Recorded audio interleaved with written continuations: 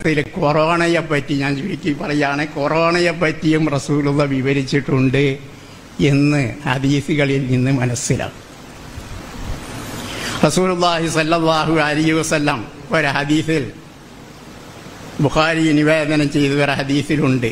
ഒഴുതുത് സിത്തൻ ബൈന യദയിസ ഖിയാമ ദിവസത്തിന്റെ മുമ്പ് ആറ് അടയാളങ്ങൾ എണ്ണുക എന്ന് പറഞ്ഞു. അക്കൂട്ടത്തിൽ പ്രധാനപ്പെട്ട അടയാളം ആദ്യത്തെ അടയാളം റസൂലുള്ള പറഞ്ഞത് മൗത്തി എന്നാണ്. എന്റെ മരണം. റസൂലുള്ളാന്റെ വഫാത്ത് റസൂലുള്ള നമ്മോട് ഇവിടെ പറയുക എന്ന് ഇതാണ് ആദ്യത്തെ അടയാളമായി റസൂലുള്ളാഹി സല്ലല്ലാഹു അലൈഹി വസല്ലം പറഞ്ഞു പിന്നീട് സുമ്മ ഫത്തുഹു ബൈത്തുൽ മഹദീസ് ബൈത്തുൽ മുഖദ്ദസ് ഫത്തുഹാവുക എന്നുള്ളത് മുസ്ലിങ്ങളുടെ കീഴിൽ വരിക എന്നുള്ളത്. അപ്പം മൗത്ത് റസൂലുള്ളാന്റെ മൗത്ത് സംഭവിച്ചു. മഹാനായ ഉമർബിൻ ഖത്താബ് റബി അള്ളാഹു അൻഹുവിന്റെ ഖിലാഫത്ത് കാലത്ത് അതും സംഭവിച്ചു. ബൈത്തുൽ മഖ്ദിസ് മുസ്ലിങ്ങളുടെ കീഴിൽ വന്നു. ഉമർ റബി അള്ളാഹു അൻഹുവിന്റെ ഖിലാഫത്ത് കാലത്ത്. അതിന്റെ ശേഷം ചുമ്മ മൂത്താനും യഹുദ് ഫീക്കും എന്ന് പറഞ്ഞു. പിന്നീട് ഒരു മരണമുണ്ടാകും. മരണം ആളുകൾ മരിച്ചു വീഴുക തന്നെ. പെട്ടെന്ന് മരിച്ചു വീഴുക. ഖുആസിൽ വനമി അവിടെ ഉദാഹരണം പറഞ്ഞു റസൂലുള്ള ആ മരണത്തെ ഉപമിച്ചത് ഖുആസിൽ വനമി എന്നാണ്. ഖുആസുൽ വനമ് പോലുള്ള മരണം. ഖുആസുൽ വനമ് എന്ന് പറഞ്ഞാൽ ദാഉം ഫിൽ വനമി യഖുദുഹാ ഫയസീലു മിൻ ഉനൂഫിഹാ ശൈഉൻ ലാ യൽബസുഹാ അൻ യമൂത്ത.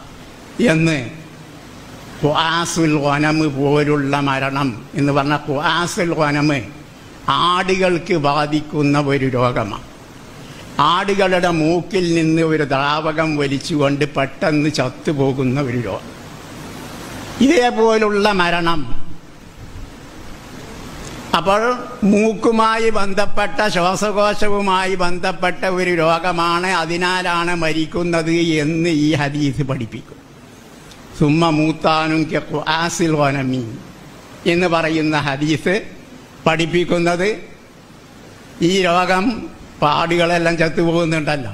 അതേപോലെ മൂക്കിൽ നിന്ന് ഒരു ദ്രാവകം വലിച്ചുകൊണ്ട് പെട്ടെന്ന് മരിച്ചു പോകുന്ന രോഗം അങ്ങനെയുള്ള മരണങ്ങൾ പെട്ടെന്ന് മരിച്ചു പോകുക എന്നുള്ളത് ഖിയാമത്തിന്റെ ആലാമത്തായി റസൂലുള്ളാഹി സല്ലല്ലാഹു അലൈഹി വസല്ലം വിവരിക്കുകയുണ്ടായി അപ്പോൾ ഇത് കഴിഞ്ഞ കാലത്ത് നമ്മുടെ ഹദീസിന്റെ വ്യാഖ്യാതാക്കൾ പഴയ കാല വ്യാഖ്യാതാക്കളെല്ലാം അത് കഴിഞ്ഞു പോയി.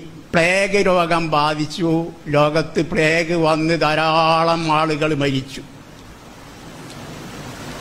ലക്ഷക്കണക്കിന് ആളുകൾ പ്ലേഗ് ബാധിച്ച് മരിച്ചു. ഇതാണ്. പക്ഷേ പ്ലേഗ് രോഗം എന്ന് പറയുന്ന താവൂൻ അറബിയിൽ താവൂൻ എന്ന് പറയുന്ന പ്ലേഗ് രോഗം എന്ന് പറയുന്നത് മൂക്കിനല്ല ബാധിക്കുന്നു.